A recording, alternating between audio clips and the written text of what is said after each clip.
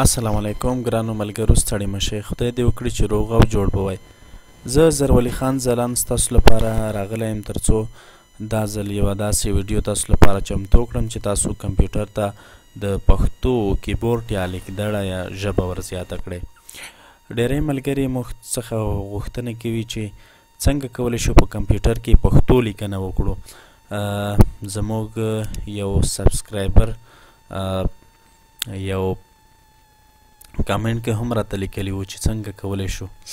نو دا دی زه نن هغه ویډیو تاسو ته جوړوم او له دې وروسته به تاسو وکولی شئ چې په کمپیوټر کې په پښتو ژبه باندې لیکنه وکړئ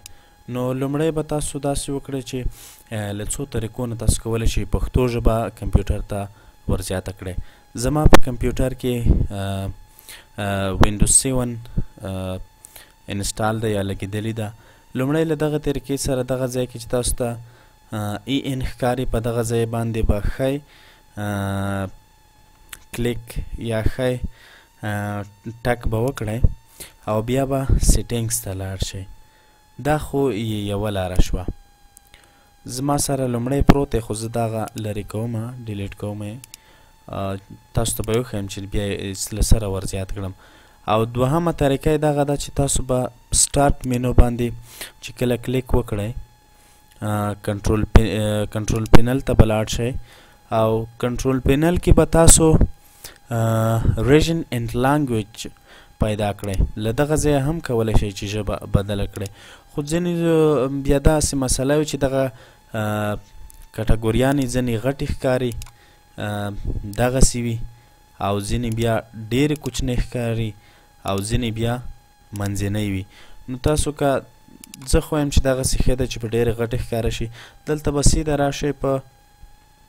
کلاک لانګویج اینډ ریجن باندې به کلیک وکړئ او له دې وروسته به تاسو بیا په چینج ریجن لانګویج باندې به بیا کلیک وکړئ او دا د یو داسې کړکۍ به را پرانیستل شي او له دې وروسته به تاسو کیبورډ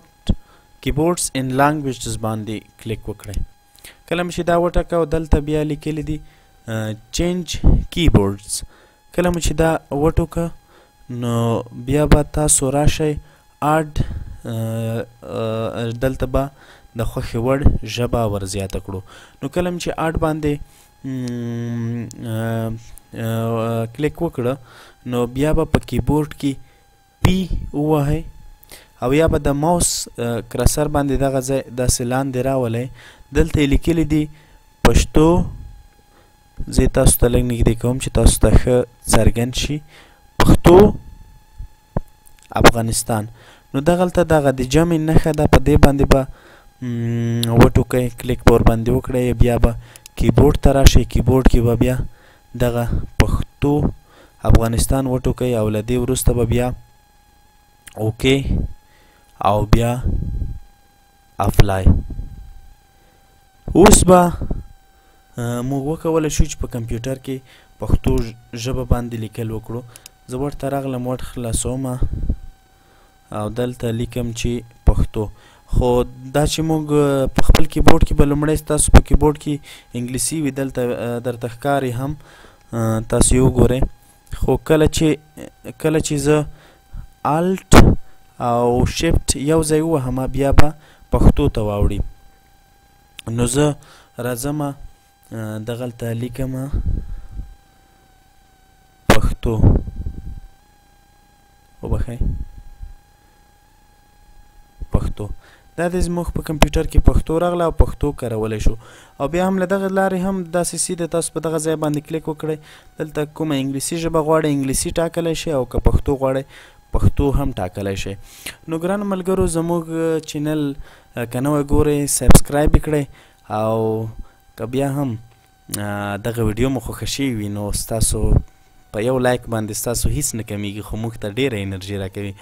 نو دغه ویډیو هم دا اوس لایک کړئ او خپل څرګندونه هم راته پرېږدئ چې دغه ویډیو ستاسو لپاره څومره مرستندویه وه تر بلې چې زه بیا زرولی خان ځلاند راځم ماته اجازه راکړئ ښه وختونه او ښې چارې